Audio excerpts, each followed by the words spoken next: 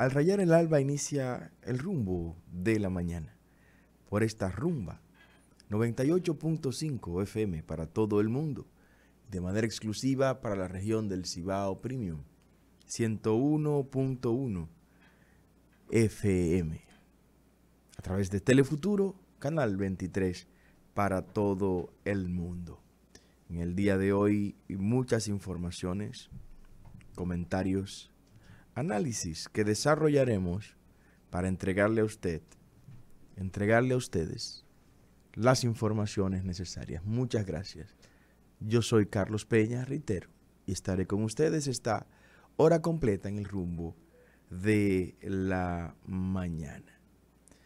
Bueno, en el comentario central hablaremos sobre la escogencia, la preferencia del presidente Abinader en el día de ayer, en que se celebró el Día de la Bandera Nacional. ¿Por qué estuvo ausente el presidente Abinader en los actos conmemorativos del día en que honramos la bandera nacional.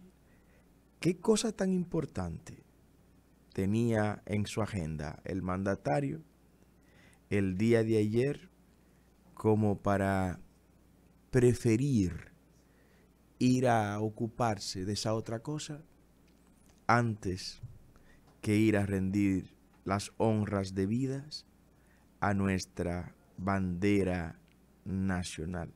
Se lo vamos a revelar en el bloque central de este espacio del día del día de hoy.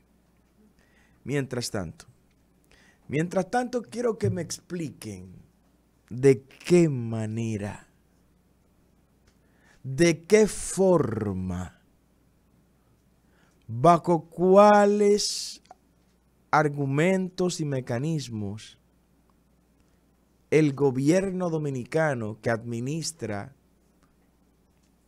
nuestros puertos permitió que fueran robadas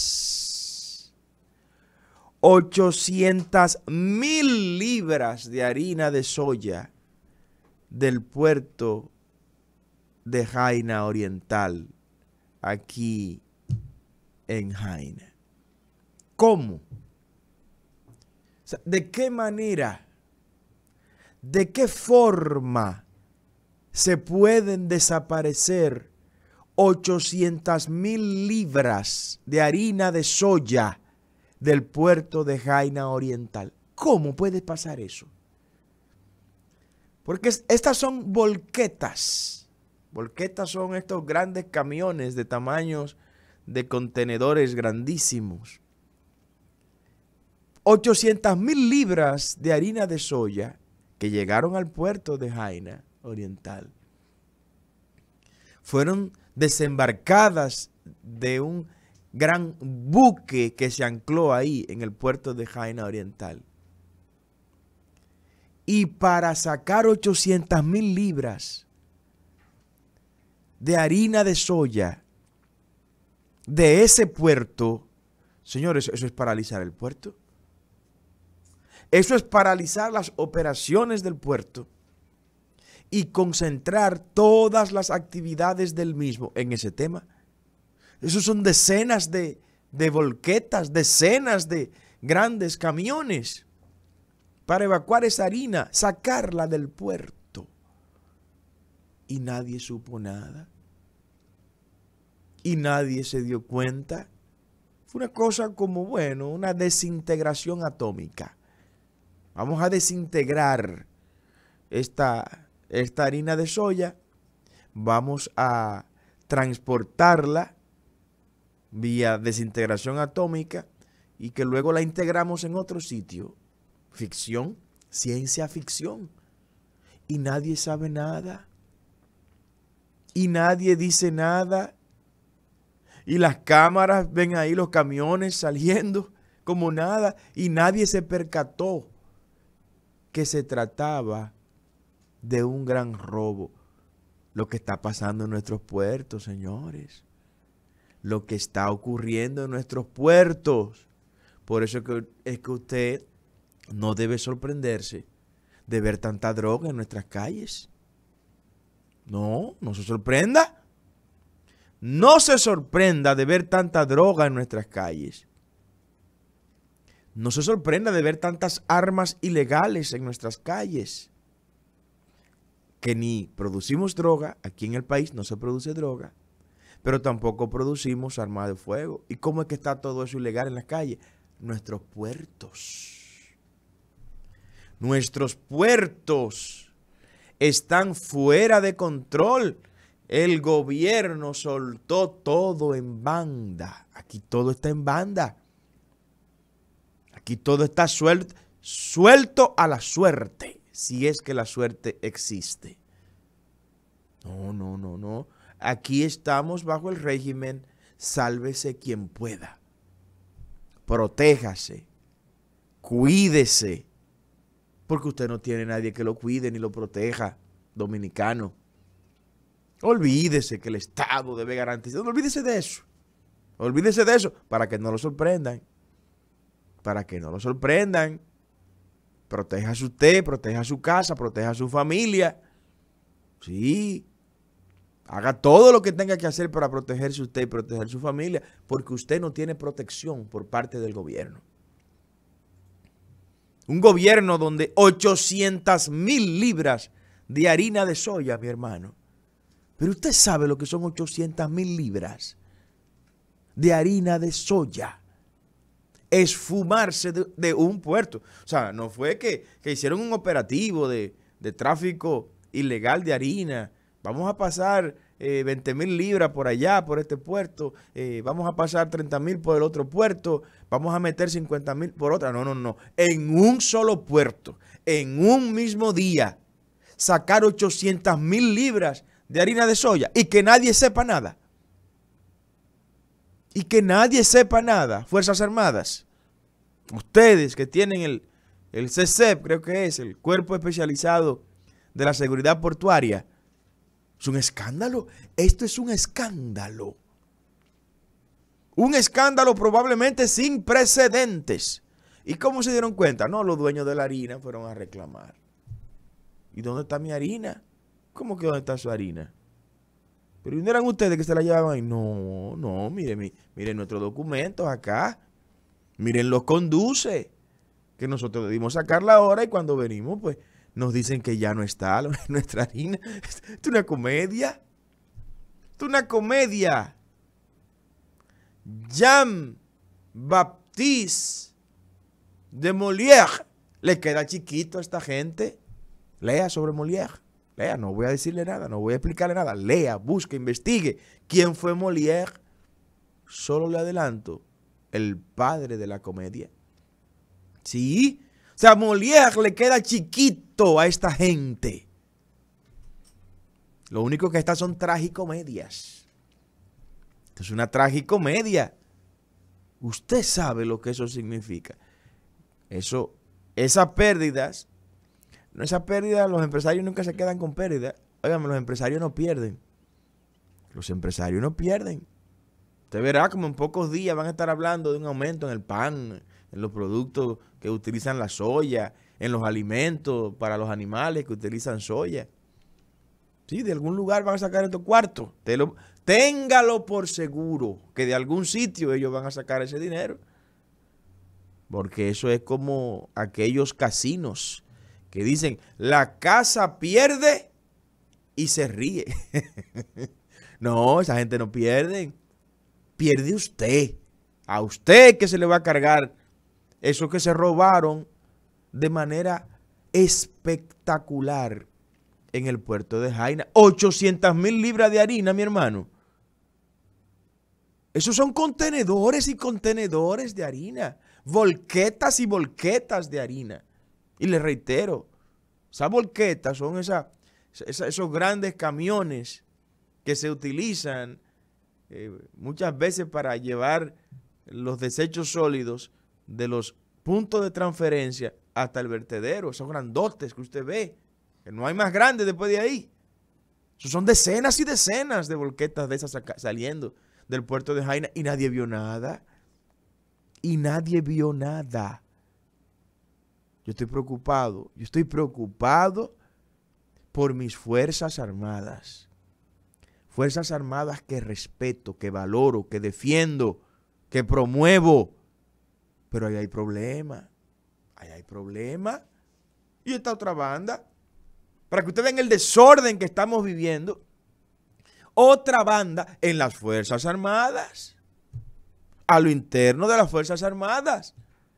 Otra banda dirigiendo estructuras de trata ilegales de personas.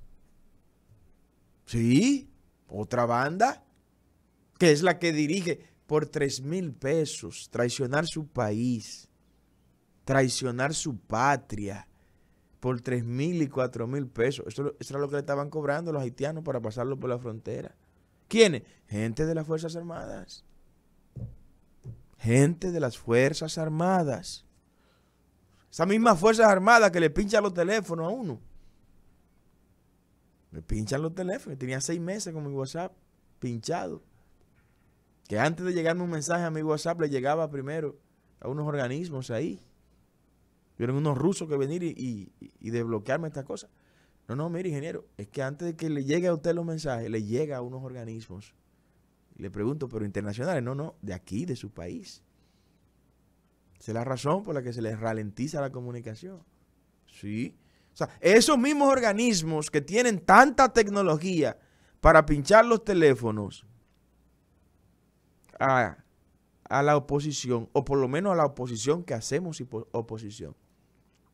Esos mismos organismos están cobijando delincuentes, dirigiendo estructuras mafiosas de tráfico de haitianos ilegales por 3 mil y 4 mil pesos. Esas mismas Fuerzas Armadas hay problema. Hay problema serio. Seria dificultad. No sé qué es lo que está pasando ahí adentro. Pero evidentemente lo que ocurre es que se trata de algo integral. Es que hay un desorden generalizado. Que hay una falta de control en todo el sentido de la palabra. Los que están llamados a proteger y a evitar el crimen y el delito son los protagonistas del crimen y el delito. ¿Y qué va a decir el jovencito que está ahí en autoridad portuaria? el joven Rodríguez creo que es.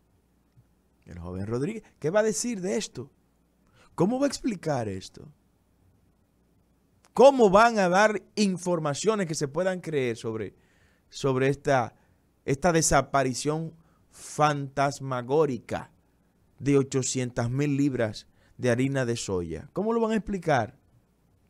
No, de la misma manera que no han podido explicar por qué razón a través del puerto multimodal Caucedo entra tanta droga. Nadie, nadie ha sabido dar explicación de eso. Nadie ha podido explicarle a este país por qué en ese puerto, a través de ese puerto, entra tanta droga. ¿Cuál es el problema que hay en ese puerto? Porque ese puerto es preferido por los narcotraficantes. Y lo peor de todo esto, nunca aparece un culpable. Aquí aparece la droga, pero no aparece para quién, para quién venía la droga. Ni aparece quién le envió, no se detecta y se da a conocer. Y ya. Pero, pero alguien le envió. Y alguien la iba a recibir aquí. Eso iba para algún lado. ¿Por qué no dan esos nombres? ¿Por qué no dan esos nombres? Como esperamos de todo corazón que se den los nombres cuando aparezcan de quienes se llevaron esas 800 mil libras de harina de soya. ¿Cómo entraron esas volquetas a buscar esa harina de soya? ¿De qué manera fue que lo hicieron? ¿Cómo esas volquetas desembarcaron cada saco de harina de soya del barco que trajo, del inmenso barco que trajo esas 800 mil libras de harina de soya. ¿Quién estaba supervisando eso ahí?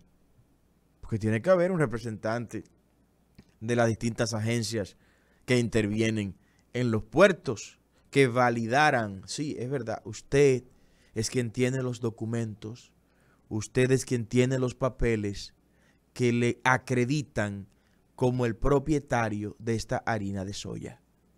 Tenga, este es el conduce. En esta volqueta, según este conduce, debemos colocar tantas libras.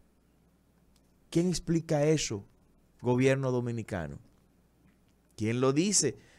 Porque lo que estoy alertando aquí es lo siguiente. Esos empresarios tienen un derecho que alegar en la propiedad de esa harina de soya. Los millones de dólares que pagaron por esa harina de soya. Su, su, derecho, su factura, su conduce, el pago de su flete, el pago de sus aranceles, todo lo tienen en las manos. Está bien. Ellos van a reclamar ahora. No, no, vamos a reclamar esto. ¿A quién? A las autoridades. A las autoridades que le desaparecieron o permitieron que le desapareciera su mercancía. ¿Qué va a hacer la, la autoridad? La autoridad le va a cargar eso a los, a los que no pueden defenderse. ¿Y quiénes son esos? Oh, usted y yo. The sons of Machepas, diría don Juan. Los hijos de Machepa, usted y yo. ¿Cómo lo va a hacer? Usted verá, se lo repito, cargándoselo a los productos finales que esos mismos empresarios iban a manufacturar. Productos derivados de la soya, como son los alimentos para los animales, alimentos para los cerdos, alimentos para las vacas, alimentos para la gallina, que todo eso se hace con, con soya. Aquí no producimos soya, hay que traer la soya, 100% de la soya. No hemos logrado desarrollar una industria alternativa a la soya ni al maíz que no producimos. 90% del maíz que se consume en el país hay que traerlo de otro sitio. 100% de la soya que se consume en el país hay que traerlo también de otro lugar. Y tenemos décadas y décadas en eso. Y a nadie se le ha ocurrido desarrollar una industria que sustituya la soya en términos proteicos y en términos eh, nutricionales. Como el nopal, por ejemplo. El nopal está ahí, que se estaba desarrollando en el Instituto Nacional de eh, Biotecnología del, del IBI. Pero nada, eso no importa. Eso no es tema para estos gobiernos chatarras. Que podamos reducir las importaciones de esos productos alimenticios por producción local, producción vernácula. El nopal que se da, mire, hasta, sin, sin, usted querer que se dé. Es una especie de cactus del cual se extrae una harina que puede sustituir sin problema en gran porcentaje tanto la harina del maíz como la harina de soya. Pero no, eso es demasiado pedirle a esta gente que piensen en ese tipo de cosas. Pero de eso hablaremos en otro, en otro momento, en que me den, me den espacio para hablar de las cosas que uno quiere hablar aquí. Que no generen tanto problema estos gobiernos. Para no poder enfocarse en cosas grandes, transformadoras de esta nación. Pero no, tenemos que venir a alertar esto. ¿Alertar qué? Que no se atrevan a aumentar los productos que se elaboran con harina de soya. No se atrevan a eso, gobierno, para buscar compensar el dinero que se ha perdido con el robo de estas 800 mil libras de harina de soya de forma espectacular allá en el puerto de Jaina, de Jaina Oriental. Vámonos, Isidro.